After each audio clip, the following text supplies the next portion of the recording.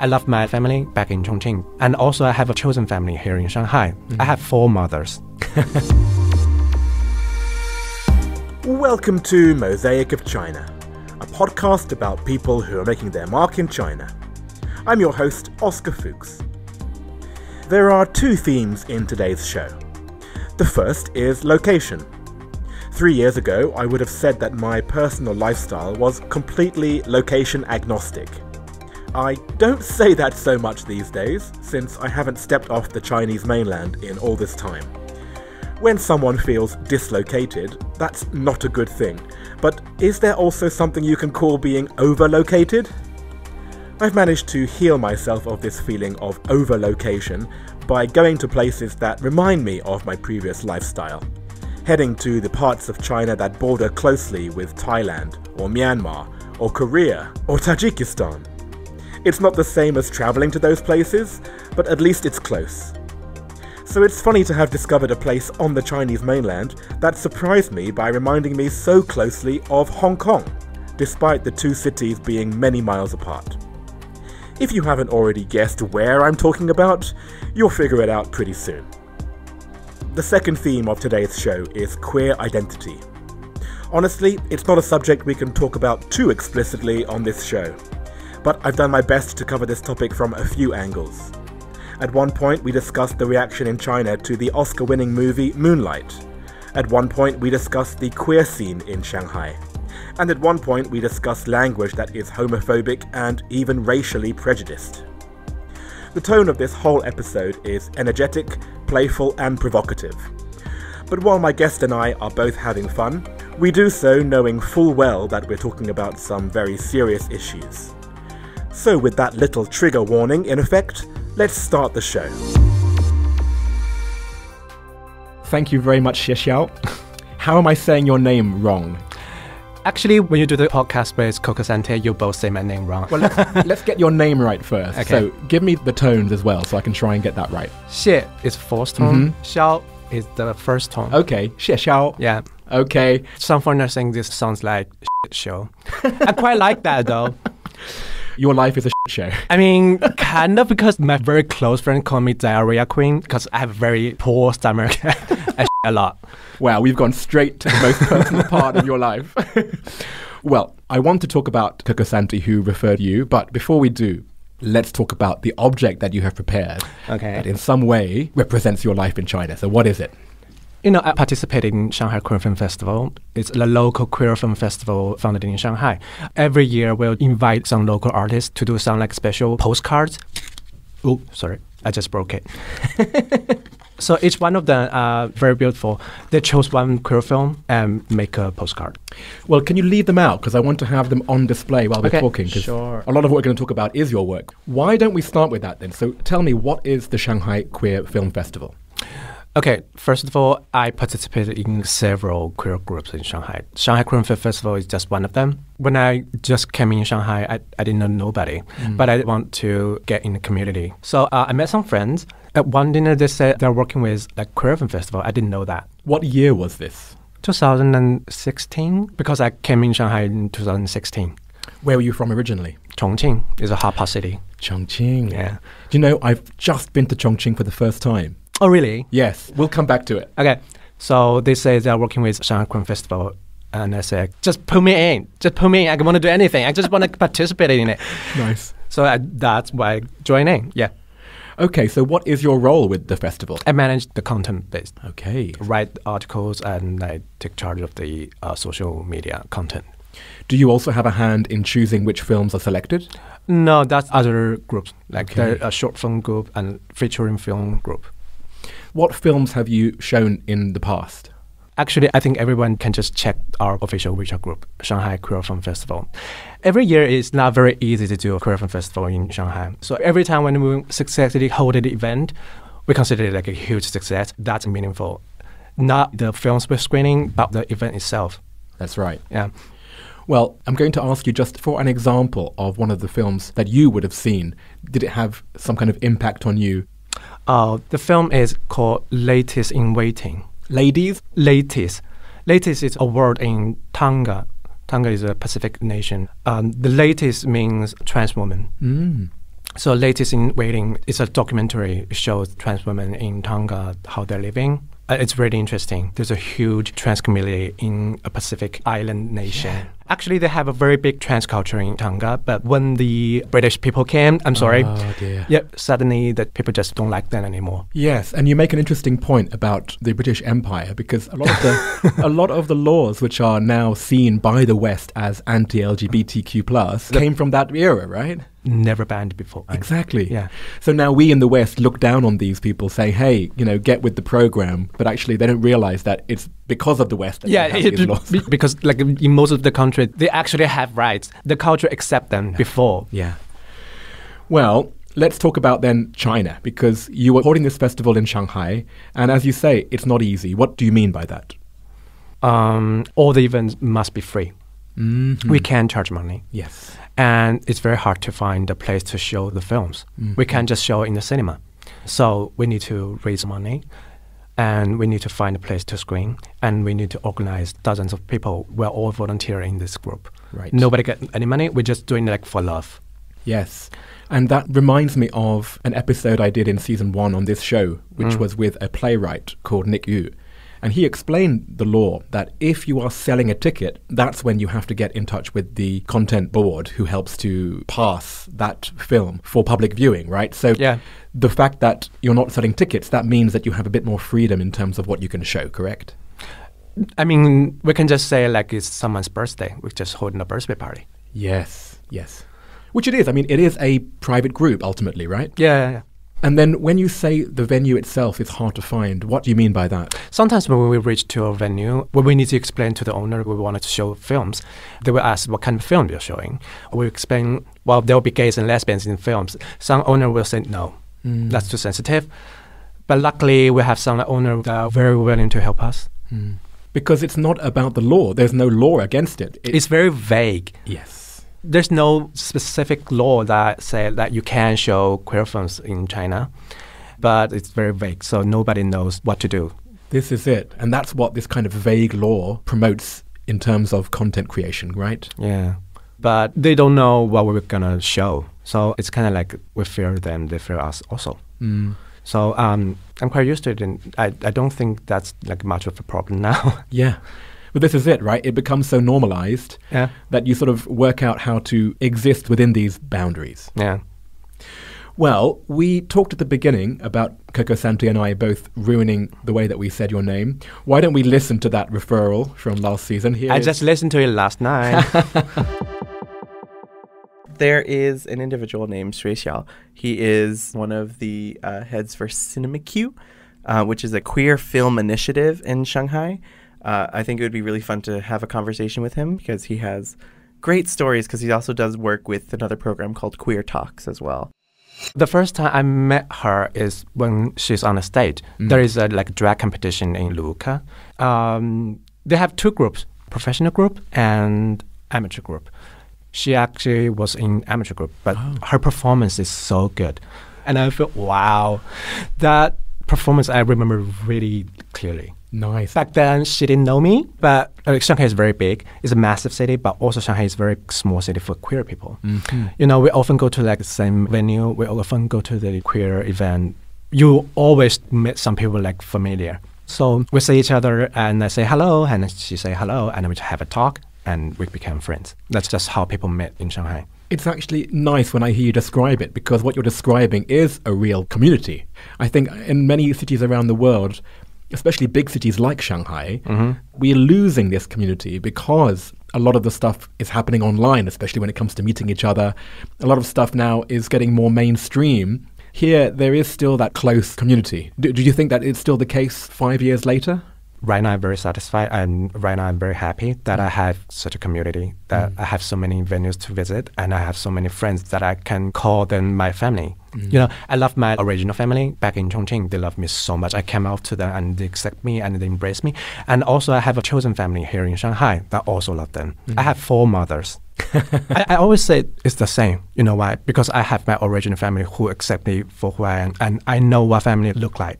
I know what real family that will love you 100% look like. And what I feel about my original family in Chongqing and what I feel about my friends in Shanghai, I feel the same feeling. The feeling is exactly the same. So the mm. chosen family, you can call it a family because that's real. Mm. And this phrase chosen family is quite common in LGBTQ circles, right? Yes. Would you say most people who came from other provincial cities to Shanghai, would they have had a different experience to your family in Chongqing? I'm very lucky. Right? Yeah, but it's very interesting. Many people will not tell my story, they said, "Is one of your parents living like foreign city or like Right. living like American before?" Because they sounded like so open-minded. But both my parents are born and raised in Chongqing. They're high school mates. Never go abroad. Didn't even go to Hong Kong, Macau before. But they're just open-minded. My father said, "People who cannot accept diversity is the one who is unacceptable." How do you explain that? I know, I know. Yeah, I'm just too lucky. My parents always said to me, "Well, are you happy?" Wow. Are you tempted to have them talk with the parents of other queer people in China? I do want to, but they don't like the big city. It's, it's so crowded. Hang on, hang on, stop, stop. Chongqing is the most crowded place I've been to in China. That's why they don't like big cities. They always run away from Chongqing. Like, where are you? I'm in Tibet. Where are you? I'm in Xinjiang. Oh, right. Like they run marathon. They bike from Chongqing to Tibet. I should be interviewing your parents, man. These sound like amazing people. now is a good excuse for me to talk about Chongqing because mm-hmm. it's one of those places that is not on most people's radars as foreigners, right? We haven't got the excuse to go there. Of course, we all know about Chongqing hot pot. Chongqing is very famous for hot pot. It's famous for maybe some politicians who used to be in charge. That's really the only thing that I knew about Chongqing before I went there. In fact, I went there because I was doing a layover between two cities and I thought, oh, I haven't been to Chongqing, so I might as well go through Chongqing and spend a weekend there. When I went there, it was like, wow, I don't know enough about China because it really had its own energy, which I was surprised at. It was like Hong Kong with this mainland China veneer on top. It was like, why has it taken me so long to be in Chongqing? And I, I'm very surprised too because even in Chengdu you can like many foreigners, but in Chongqing, no, absolutely No. no, zero. And it's no. millions of people, and I was the only foreigner, even in like Yeah. the center of town. Do you know that maybe 20 years ago they called Chongqing like the little Hong Kong because of the landscape? Yes, yes, yes. I'm glad it wasn't just me then. Good. It's bigger than Hong Kong actually. Yes. You know, Chongqing people also walk very fast.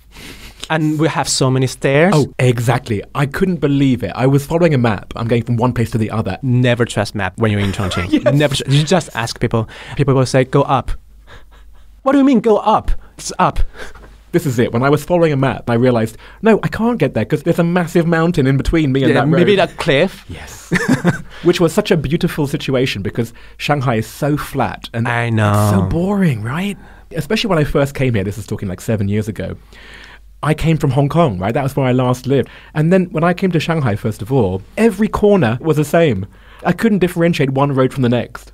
Well, yeah. Have you ever been to Beijing? That's exactly the same. Because my aunt used to live in Beijing. So when I was a little kid, every summer I would visit Beijing.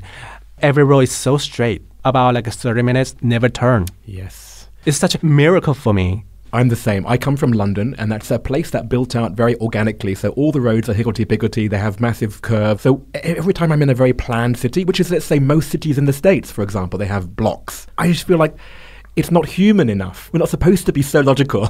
Yeah. It was so weird. Some people ask me like, how would you feel like when people call you weird? Sometimes I mm. said, everybody's weird because nobody can fit all the stereotype or the principles that any society puts you. You're not a robot. You're not a program. We're at least a little bit weird. we all have our weird stuff. Exactly. Let's talk about the way that you talk with your friends because this is something which I love. You know, the language that the queer community use between each other. Oh my God. We create our own slang sometimes. Often, like in, within queer community, we absorb the negativity. You own it, right? Yeah, we, we own it and Yeah. we make that in a positive way. Right. That, that's, very common, right? It's very common, and I don't know if I can say that word here. F- People call you f- mm-hmm. because they hate you. Mm. But right now, we can use that proudly. Say, yes, I am. F- mm. So what? Mm. You cannot hurt me with your so-called negative words Right. anymore because we own that. And so what you're saying is there are equivalent words in Chinese which you now own, but you don't want to say it on the podcast, for example. I can say, it. like many people will call like you're a sissy boy. We need more masculinity in China. So like we don't want boys in China like become like more sissy. We need more masculinity. Sissy boy is such a bad word for people, but we own that Mm. so easily. We don't give a f- I said like if you have a single bit of sissiness in your body, like in your system, just show it. And it's so much easier just being yourself completely. Well, that, but that's why I'm really impressed with people like you because I think you're what ten years younger than me. How old are you now? Uh, 29. Yeah, you're 15 years younger than me, and yet you've come to this conclusion way younger than I did. Because I tried also when I was in like a high school, maybe I tried to become like quote unquote normal and I failed. I'm very bad at acting.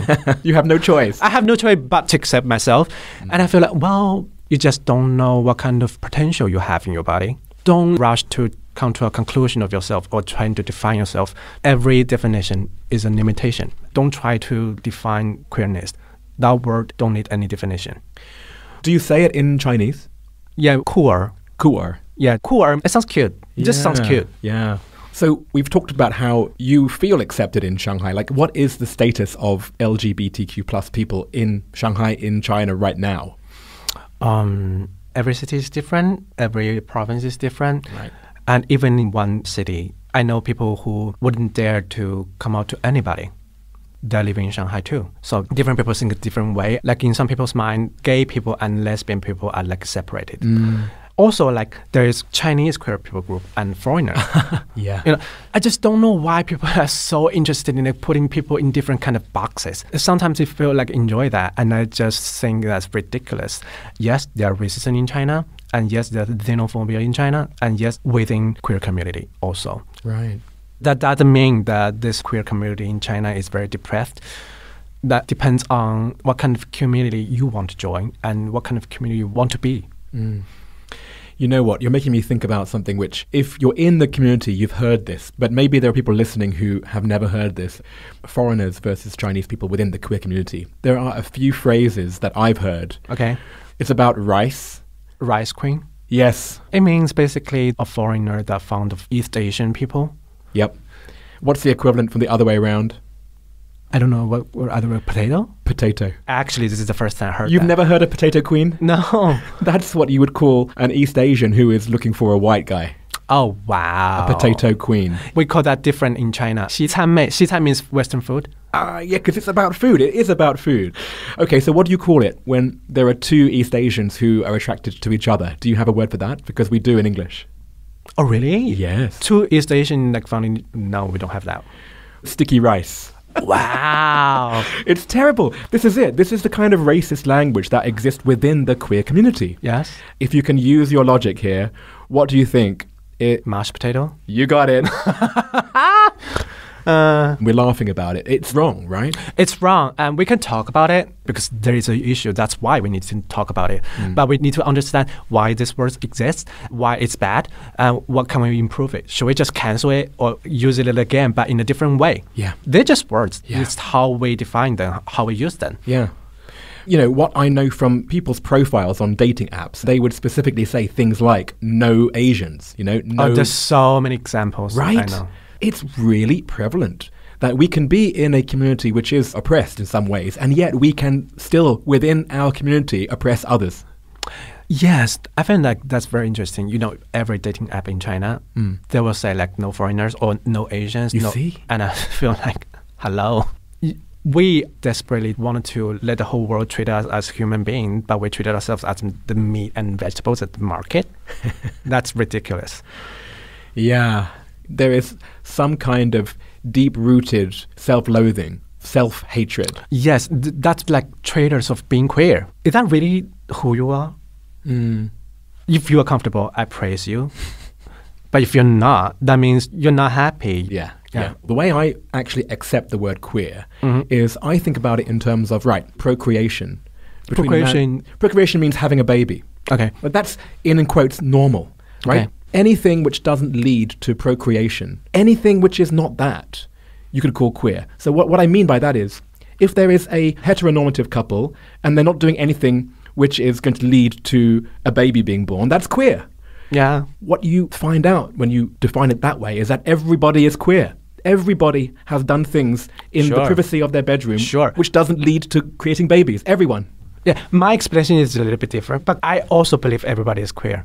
I mean, if you ever have any sexual fantasy, that means you're queer. If you don't have any sexual fantasy, that means you're asexual, that also queer. There you go. So, End of story. We're all defined under that one umbrella. yeah. I guess the issue is right now representation in China, where you and I can have this conversation on this English speaking podcast. If we were doing a TV show in China, we couldn't talk this openly, right? I don't know, maybe not, maybe I'm not sure. You know, like the laws are very vague. We don't know. Well, you certainly don't see it right now. No. And you certainly see the opposite. You certainly see now the, the messaging coming out about it's a shrinking population, right? So there's a demographical issue that you have to make more children in China. But then, how, in that case, do you think you can create more people who are like your parents, who are understanding and accepting? First of all, we just talk. We just share our minds. We share our thoughts. Every time when we like do talk, I can see that something is happening. Even it's very tiny little bit. Every talk matters. And also, like with CINEMQ, people like often said, "Oh, why do you choose to use screening films as a tool to like sending message or something?" Uh, Matthew is one of the co-founders of CINEMQ, and also everybody else thinks the same way because movie is fun. People like watching movie, and what we're showing is queer movie, which is more interesting. That's it. It's very simple. Just have fun. Yeah. Girl just want to have fun. You mentioned Matthew. He's someone who has been behind CINEMQ. She's like my third or fourth mother. Matthew Baren. Yes. So let's talk about that. Tell me about your four mothers. Uh, my first mother is my biological mother in Chongqing. I love her so much. We're like sisters. Uh, so each time we like hang out in the street, we go shopping, we drink bubble tea, and we talk about men. That my first mom. My second mom is my college friend. She's so funny. She's the one who actually told me, you know, being a slut is not a bad thing. It's how you own your body, but you make sure it's safe. Yeah, well, this is a whole feminist aspect we haven't even talked about. But keep going. Yeah. The third or fourth mother is Matthew Baren and Will Dye. Ah, they're partners, right? Yeah. I'm going to tell you a story how I met them. Moonlight won the Oscar. Ah, yes. And I got very angry because there's so many Chinese reviews are so bad. People say, I just don't like black people. Oh, People say this film only won the Oscar is only because the political correctness. Or the PC issue has gone too far in Western country, blah, blah, blah, blah, blah. There's so many of them. Of course, there are so many people very like this film, including me and including many other people. Moonlight is kind of like a bomb to explode all the issues out on the surface. I had a type in the WeChat group said, uh, I want to write an article to discuss that. And so Matthew in that group replied to me said, you need to write the article. So I wrote it and I sent it to them. They got published. And we never met before. Um, There's one time, one night, I was uh, sitting outside of a bar. And I just saw Matthew and Will passing by, and they just approached, saying, "Hello, you don't know me, but I know you." and that's the first time I met them. and that's how you got into CINEMQ. That night changes everything. Mm. And that's why we're here today.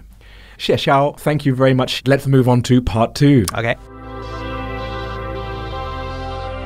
All right, let's jump straight in. Question one from Shanghai Daily What is your favorite China related fact? The thing that most impressed me is how China changes so fast. Mm. Every year is different. I don't even recognize where I grew up. The building is gone. Mm. Everything is gone. The mm. road is gone.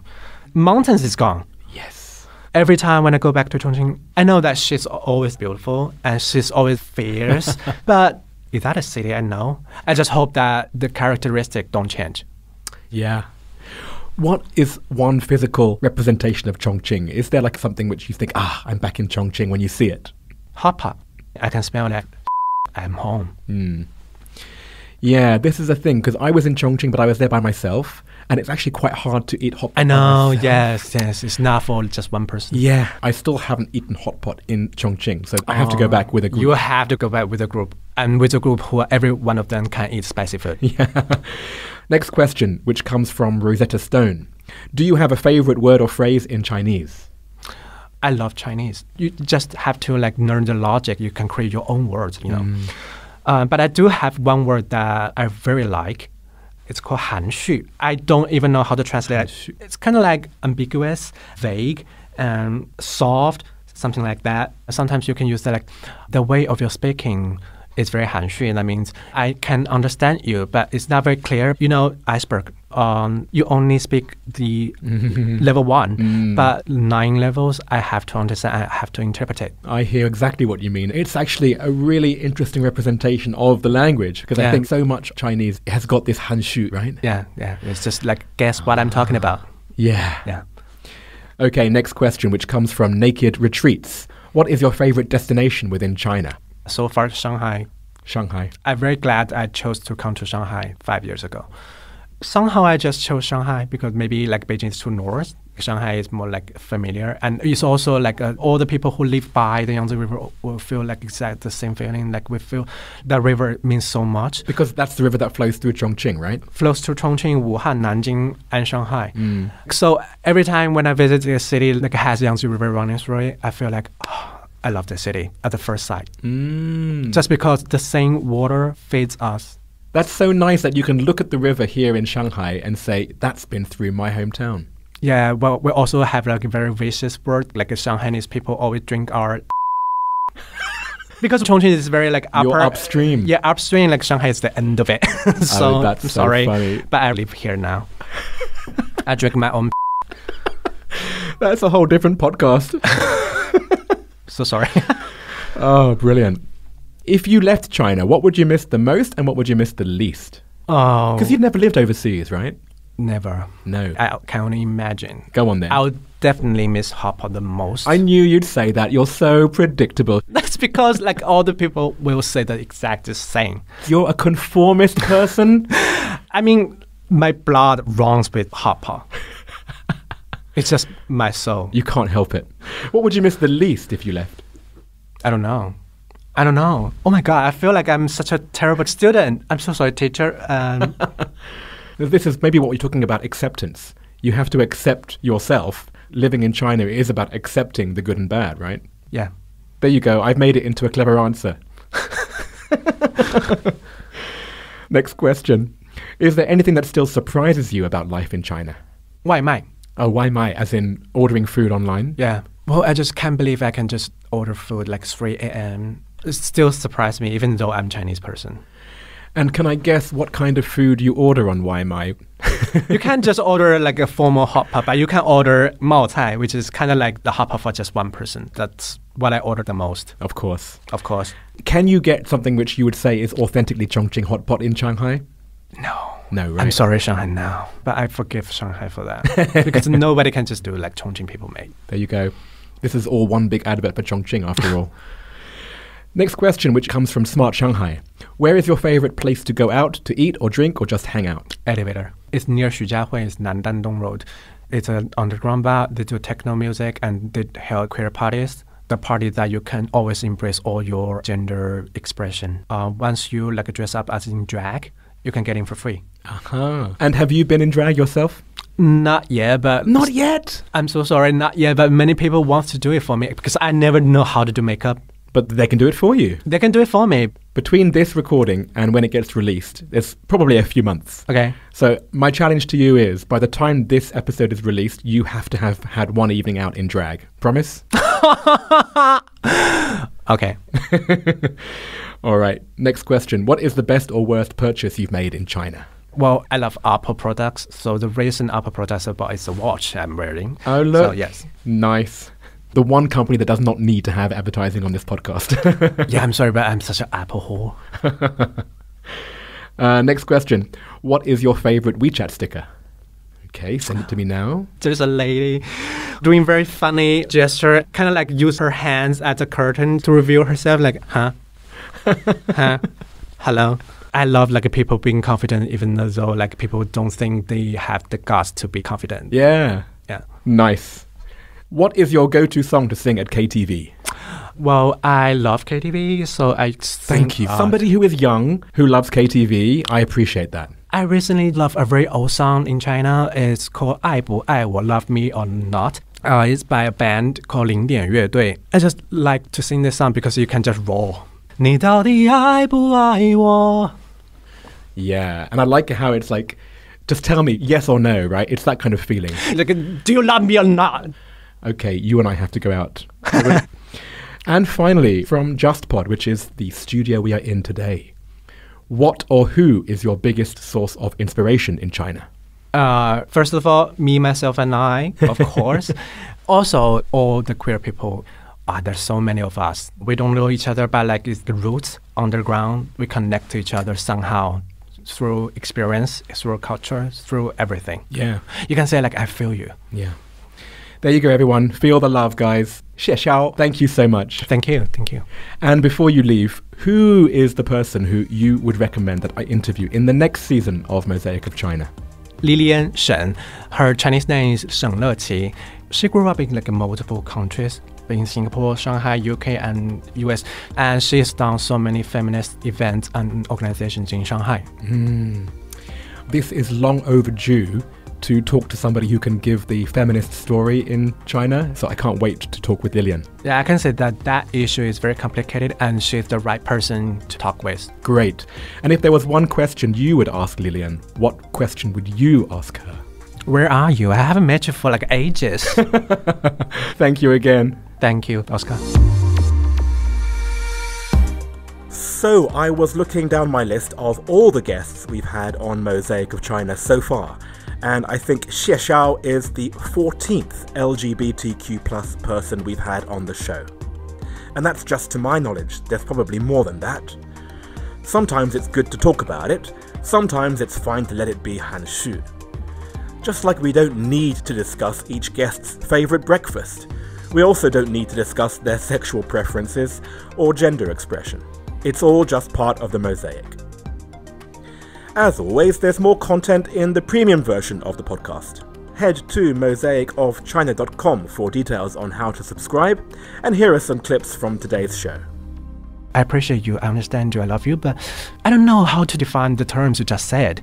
My cousin is the only grandchild on her side, mm. and we both decided we won't have any children. Oh, right. They think, oh, but in my neighborhood, homosexuality is such a taboo. They're afraid to come out to you. They keep the rules vague on purpose so Mhm. that we never quite know where the line is. I know there's so many queer people in China have a very hard life. I know their stories. I hear them. Are you a comrade? The answer is Yes, both. yes, both, exactly. doesn't matter if your family like accept you or not, but it does matter if you accept you. When I visit Japan, I feel like sometimes they're like more Chinese than Chinese. yep. Do you feel that pressure externally still? Never. So many people they don't understand it at all. Right. I wanted to know why. A, B, C, D, they all sounds right, but they all sounds wrong. Can I choose all of them? Mosaic of China is me, Oscar Fuchs, with artwork by Denny Newell. As always, there are lots of images alongside today's show on the website or on social media, including Xie Xiao's favourite WeChat sticker, photos of his families, both biological and chosen, and many more.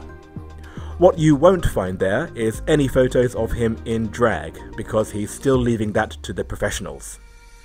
Speaking of which, you're about to hear a quick catch up with the person who referred Xie Xiao to the mosaic, Coco Santi from Season 2, Episode 5. And there's also a catch up with the workplace diversity supporter working for SAP, Sebastien Denes from Season 1, Episode 11. Please enjoy them, please listen to their original episodes if you haven't already done so, and we'll be back with another new guest next week.